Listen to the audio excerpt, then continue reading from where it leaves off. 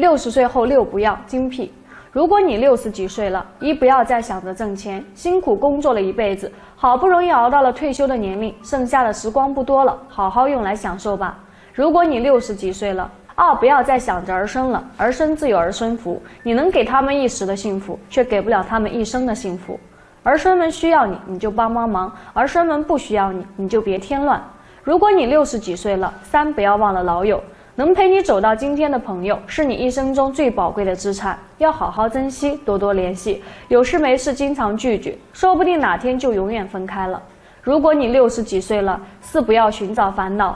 人生走了这么久，经历了这么多，还能有什么看不开？别人爱咋地就咋地，自己一定要开开心心的过。如果你六十几岁了，五不要跟人比这比那，你有你的生活，不要跟着别人走。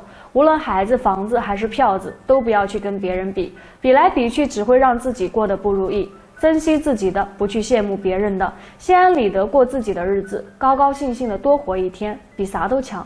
如果你六十几岁了，六不要丢了老本，房子要自己留着，再小再旧住着也舒坦。